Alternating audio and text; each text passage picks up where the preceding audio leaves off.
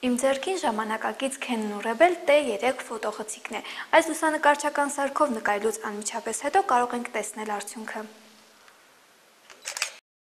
Երևի հիմա կմտածեք ինչ արտասովոր բան կար, ուղակի լուսանկարեց, առօրյայում հաճախ հանդիպող երևույթ։ Իսկ երբևիցե հետաքրքրվել եք, թե ինչպես է լուսանկարն ստեղծվում, կամ որն է առաջին լուսանկարչական սարքը։ Հայտնի է, որ ֆոտոապարատի նախատիպը գծագրել է Լեոնարդո դա Վինչին։ Այն կոչվում էր օբսկուր կամերա, որը թարգմանաբար նշանակում է մութ սենյակ։ Նմանատիպ ֆոտոապարատ է նաև այս մեկը։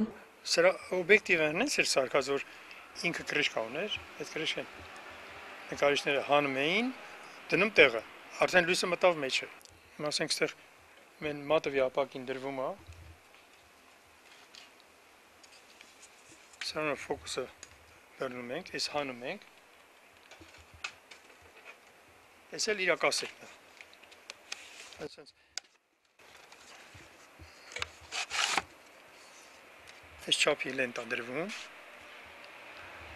Հապակին դրվում է։ Ու էլի փակվում է դնում ենք ստեղ,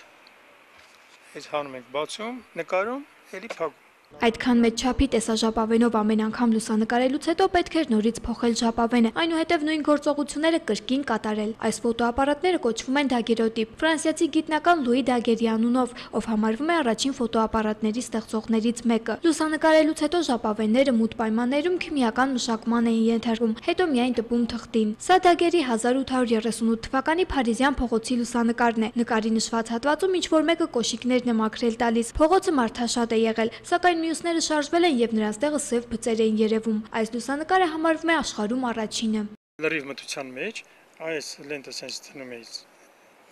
կոճի վրա, sense փաթաթում։ Բայց մինչև այս գործողությունները անելը ձերքերս պիտի օճառով մի լավ լվանայի, որ հանկարծ հետք չմնա։ Լուսանկարչական սարքերից այս մեկը առավել բարդ կառուցվածք ունի։ Ֆոտոխցիկը կառուցված է ոսպնյակներից։ Ապարատը կոչվում է հայլային, քանի որ այն ներսում հայլի ունի։ Օբյեկտիվներից պատկերը շրջված դիրքով անդրադառնում է հայլու վրա, այնուհետև երանգնաձև ոսպնյակի։ Հետո է միայն հնարավոր դառնում տեսնել իրական պատկերը։ Առավել մոտիկ կամ հեռու նկարելու համար պետք է փոխել օբյեկտիվները։